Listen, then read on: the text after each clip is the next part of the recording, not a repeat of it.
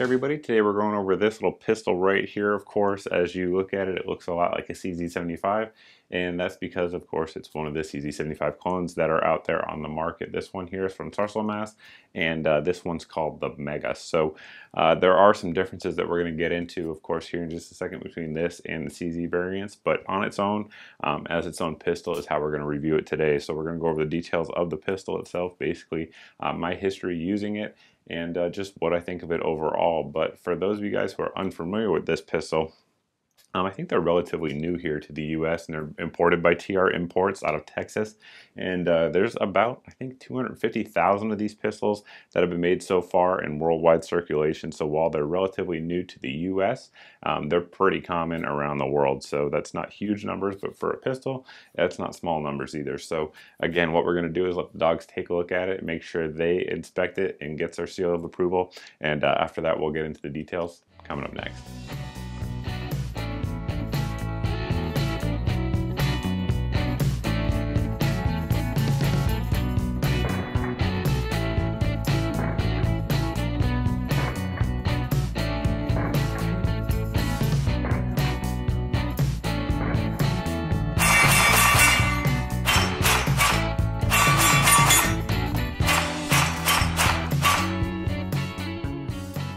Pick the pistol up, it comes with two 17 round mags that you see here. They are marked Sarsilmaz and um, they are compatible with any other CZ mags out there on the market. That's huge in my opinion because like let's just say we have right here a CZ 75 20 round mag. You guys can see it fits, locks in just fine and it'll lock the uh, slide back. So function has been 100% with any of the CZ75 mags we've tried in it so far. So that's certainly something going for it there because of course CZ75 mags are everywhere and they are reasonably priced.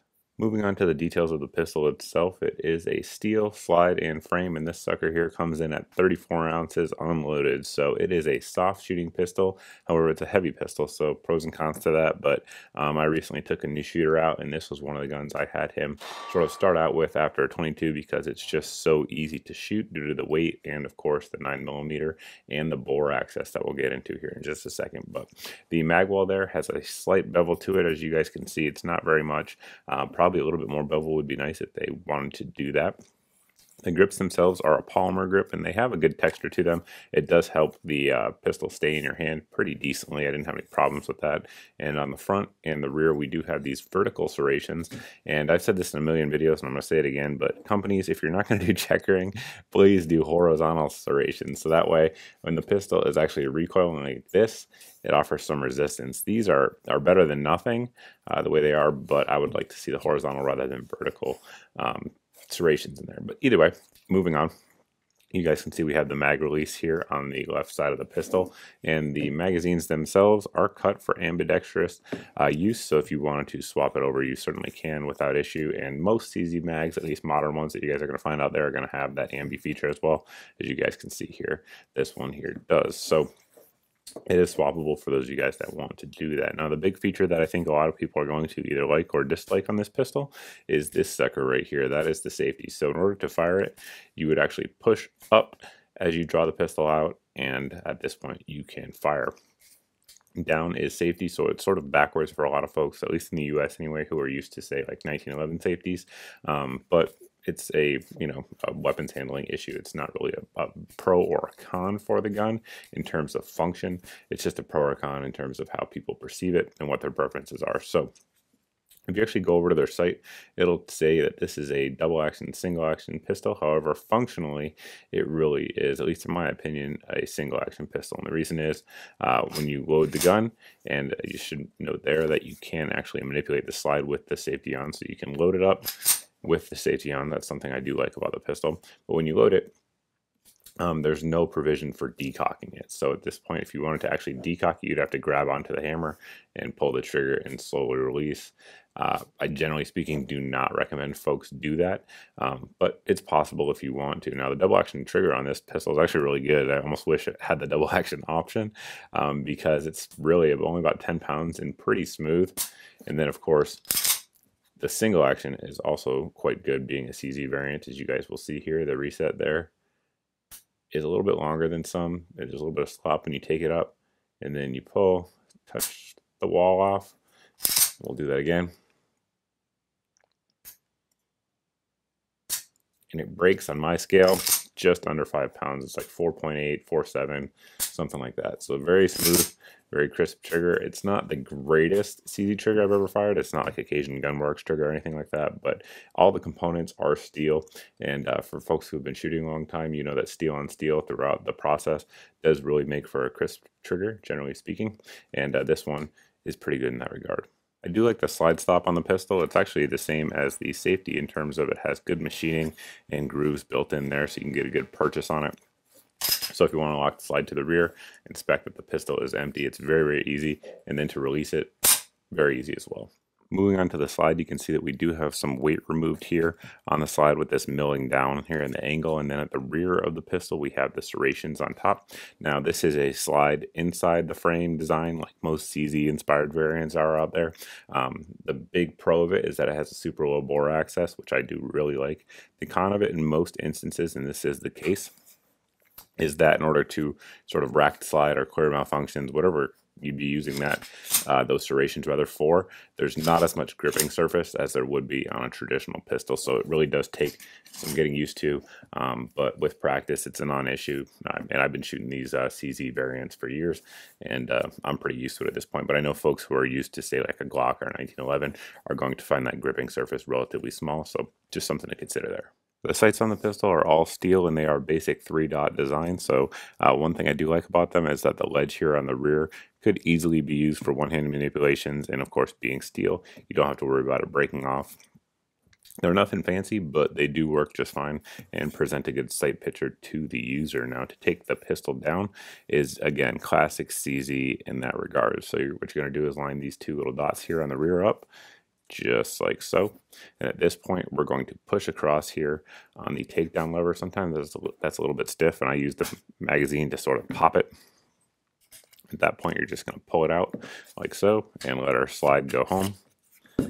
And we'll take our guide rod out. Note that it is a stainless steel guide rod. I'm sure some of you guys are really going to like that. And then our barrel here um, is a 4.5 inch barrel. You can see that the serial number on there is etched in there and it is matching. The barrel is high polished. It has a nice wide feed ramp there as you guys can see. We've had zero issues feeding hollow points at all with this pistol. We've had zero issues feeding anything with this pistol. It's eaten everything we've fed it. You guys can get a look there on the inside of the slide. You'll see there's pretty good machining all the way around. It's uh, not bad in terms of that. And uh, if you look at the actual frame, same thing is apparent. Very, very good machining overall. To reassemble the pistol, we're just going to go in reverse order. We'll put a barrel in there and then put our guide rod in and spring. And again, the slide here rides inside the frame. So you're going to line that up there on the frame and we're just going to slide it back. Now at this point, we're going to line those two holes up again. Make sure that our barrel bushing is not in the way. Not bushing rather but the barrel lugs are not in the way. Uh, pop that in, cycle it, make sure we're functioning, and we are, we're back in business. Those of you that watch the channel know that I have a ton of different CZ variants. Of course, this is their 75 Cold War inspired one. Um, so it's sort of a throwback to some of the early CZs, um, but you guys can see sort of how they compare. So one thing I should point out is that while the grips do look similar, they are not interchangeable. Um, of course, this version of the CZ has a rounded trigger guard. We have our squared off one here. Some of the later CZ75s had that as well. And you can see on this one, of course, the earlier CZs uh, did not have the milling on the top of the slide.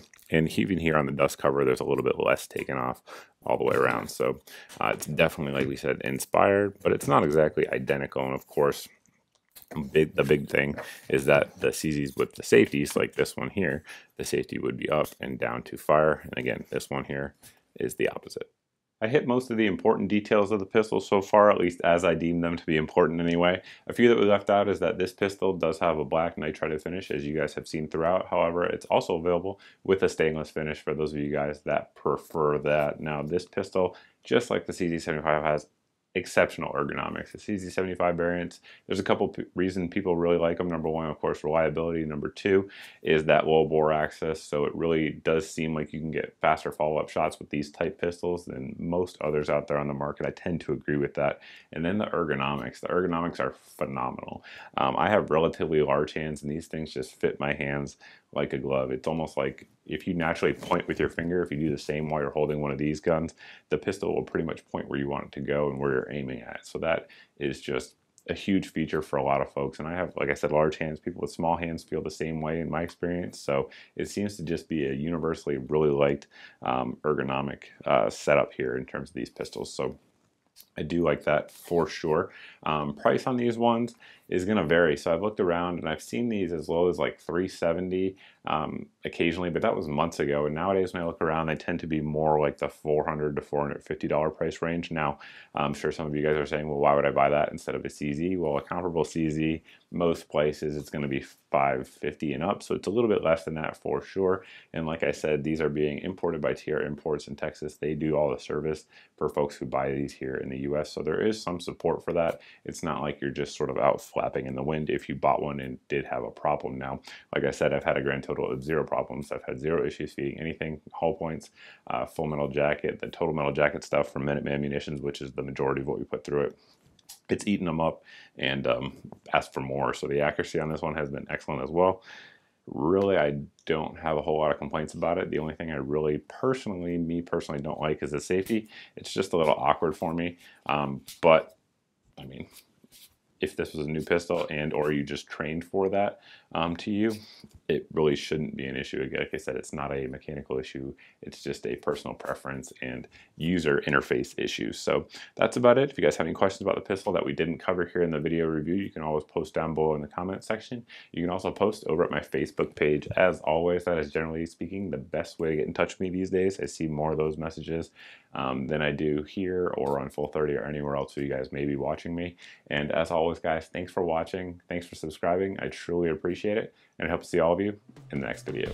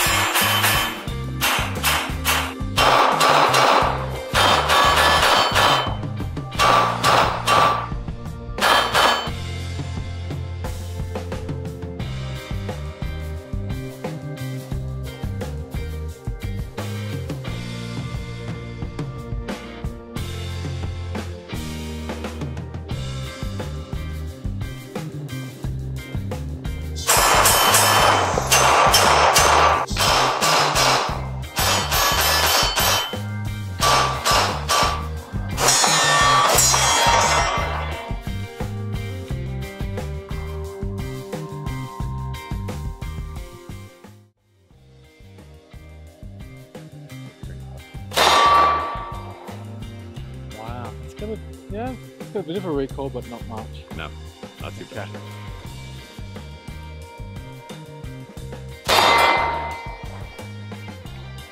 What do you think? it's wild. All right.